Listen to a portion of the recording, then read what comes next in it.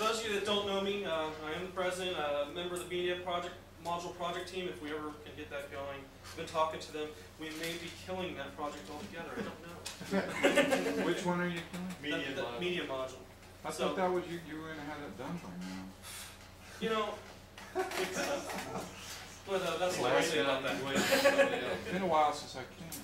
So anyhow, uh, there's that. Uh, uh, uh, there's, I publish uh, videos on JumpstartTV.com. Uh, it's been a while since I published a new one, but uh, uh, al- al- almost all the information is still very relevant. Uh, there's a lot of beginner stuff if there's any beginners in the room. And uh, freelance technical editor for Wrox. So I, uh, I edited uh, Daryl's book over there. It was horrible, horribly good, horribly good. Buy it. All right. Did you Uh, so- any of my chapters? It- no, I only just stands in that book. Okay. It- His chapters are really good, so if you're into module development, that is a good book. All right. Anyhow, uh, these slides are, uh, are meant for reference, so uh, you know if I do go through here, uh, unfortunately I didn't already post these on the website, but I'll have these posted either tonight or tomorrow uh, for you to grab uh, off the DNN website. And these do go in the members only area, and right now that is protected by login. All right. Um, so all you have to do to get into there is just create an account. All right, uh, so basically what we're going to go into is blogging, and the blogging overview for those of you that maybe are not too comfortable with blogging. Anybody in here not blog ever? I'm raising my hand, but that's not because I Oh, okay. I'm trying to encourage hands going. Okay. All right, so I'll kind of skim through that a little bit. A blog module overview, we're going to go look at the module, see what features it has and everything. Uh, we're going to blog using Windows Live Writer, all right, and uh, I've got some opinions about that to tell you in a little bit. And then we're going to talk about marketing your blog, how to push it out there, how to get, get it popular, make it successful, and uh, the feature of the blog module, itself- or the future of the blog module itself, all right. So any questions on these agenda items that we're going to go over?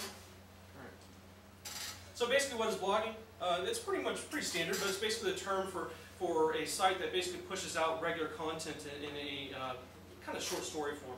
Uh, it, it, there's not really a true definition for it, but that, that's basically it. Because in the very beginning, uh, before blogs and Web 2.0 existed, there was a lot of sites you could probably call it a blog, but it really wasn't.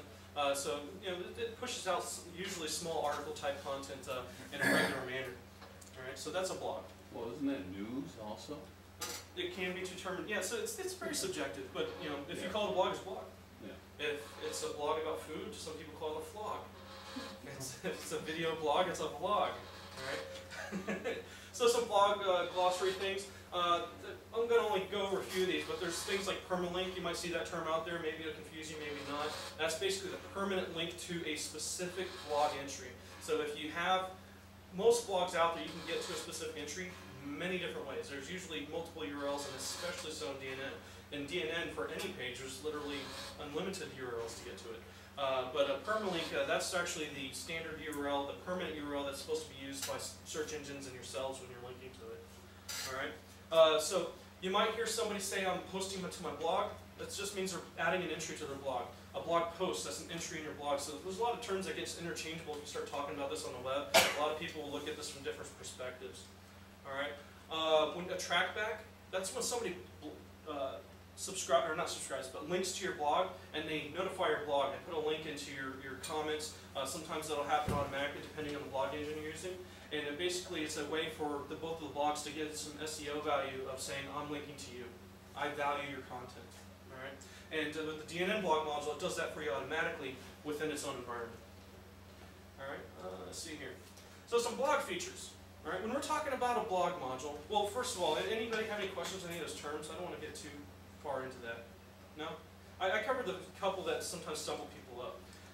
All right, so with blog features, whenever you're talking about a blog module, there's, there's a few things that you always want to be looking for. All right, there's some things that you, you, you obviously want to be able to post blog entries. You, okay, you want to be able to have visitor comments usually, not always. It depends on your purpose for your blog. Right, uh, social sharing is very important these days, and I'll talk about more about that later. But that's very, very important for your blog module, for any blog engine for that matter. Uh, remote blogging, uh, being able to blog from multiple sources. You know, if you're uh, maybe flying on a plane, you're traveling, you know, you might want to kill some time. Maybe you want to go ahead and uh, submit a blog, or you know, start writing a blog. That might be important to you. Uh, syndication, that's another way of pushing your blog out there.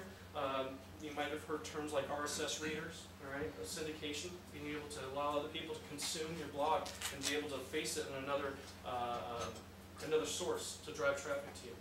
All right, uh, advertising that may or may not be important to you. Being able to integrate ads, maybe banner ads, Google AdSense, or whatever, to maybe get a few pennies off of uh, whatever your blog is, all right, uh, or a few extra pennies. All right, uh, being able to support plugins, all right. You, typically people don't just have a blog out there just to publish that one entry. You know, they might have other ideas, even if they didn't have it when they first put it up there. They might have an idea to integrate something in there afterwards that wasn't there originally. Maybe like a tag cloud. All right, most most blogging engines, even if they accept plugins, that's not something that comes standard. That's something you have to add to it. All right. Um, categories and tags. These last three have stars. All right. Uh, the stars meaning uh, that functionality does exist kind of in the current DNN blog module. So we're talking about categories and tags. Uh, you can do that in the DNN blog module right now, but you have to do it with third-party tools. Um, with the XML RPC, what that means is XML RPC is a technology that uh, is used in the different uh, uh, blog environments to be able to do what's called pinging, right? To submit your blog to places like Technorati, right? To, to say, hey, I got a new entry, you know, start sending people over to my entry. Okay? So XML RPC is a technology that your blog can do automatically to start driving traffic to your blog. Right? Uh, s- s- most blogging engines do that automatically. That functionality is actually already coded into the DNN blog module, but it can't be used because it's written in .NET 2.0 and the blog module is still 1.1. So they never actually enabled it, all that code's commented out. So if you were to go and get the source for it, you can actually go and uncomment that, make it a 2.0 project and enable that functionality right now. Um, but that being said, uh, that, that and the categories and tags, those are going to be coming in the next version of the blog module, which is 352, and uh, that's going to, be, I'm going to be talking about that more later. Uh, statistics, not all blog en- engines offer that. So uh, in the DNN environment, your best bet is to use something like Google Analytics, all right? But um, uh, I have been talking to Antonio, because I'm kind of, if you don't know, I, I do have an extensive blog. Uh, I even started uh, guest blogging on uh, Applied Eye, all right, the Applied Innovations or WebHub. And uh, one of the things that I started looking at, uh, I've been talking to Antonio Chagoury because you know some of the things that I want to see in the blog module and this and that. And uh, one of the things that came up is uh, there was somebody that is getting really passionate about the blog module out there publicly in the, the DNN forums. There's a lot of features that he really, really wants in there. He doesn't understand why they weren't there yesterday. All right. Uh, and one of them was statistics. There, he has a really great idea on this, like, and he has all these screenshots, like workflow planned out. Like, you know, this is what I wanted to do, and it's a great idea, but he doesn't understand the speed of open source. So uh, uh, hopefully that'll come soon. But uh, that, that's um, if it gets to anything even close to approaching Google Analytics, that's that would be a really good tool. All right. Any questions on, on some of those blog features? Did I miss any that are important to you? I'm not clear the difference between categories and tags. I, I do tags, but I'm not sure why it's categories are on my blog. Yeah, well, um, you can use those in different ways, and, and, and a lot of times they're not necessary depending on, on, on how varied your blog is. If you have a blog that's about one central topic, maybe let's say it's a DNN blog, you're just blogging about using DNN, and that's all you ever say. That might not be useful to you at all, either one of them. But if you if your your topic uh, tends to vary, maybe you're talking about DNN and you're talking about VB.net, maybe you're talking about uh, skinning, maybe you're talking about CSS, and you start to get into all those other areas. Tagging might be important to help you, well, help your users be able to, like, you know, maybe it was a really good blog on, on using CSS to, to you know, uh, vertically align a menu, all right? Maybe that was your blog topic. I just saw that come up today, it was uh, a really good one. But uh, if they said, oh, you know what, this guy, he did a great blog on, on this, and the CSS, you might know what he's talking about. Let me click on the CSS tag, and that'll show me all the CSS blogs.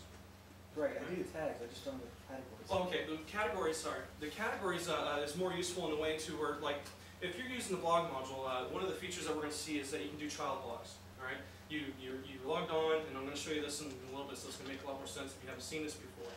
But you can log on, you create a blog for yourself, and then you can create a child blog.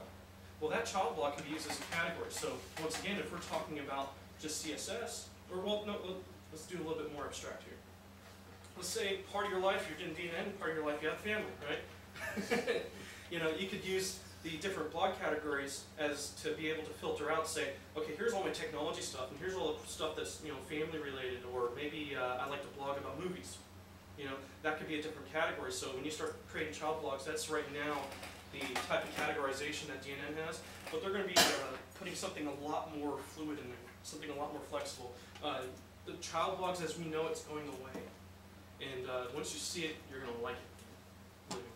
Uh, but uh, uh, they're, they're, uh, that's where categories come into play, is being able to uh, filter it out for an entire blog instead of